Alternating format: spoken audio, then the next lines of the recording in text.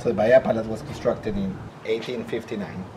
They finished in 1860 by a sultan, and then he died, and then his son took over, and then he kept building it and made all these beautiful things, like not how it looks today, but it looks actually like this and this and this.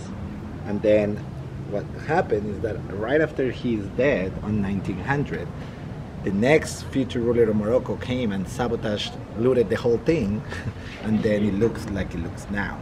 But then the French came, and then they used it as like a French residence, and then it deteriorated more.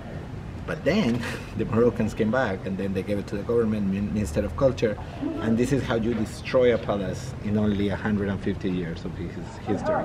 The oranges, though, stay alive, and they're really nice but everything else is very looted. So instead, it looks like that today, but it should look like this history.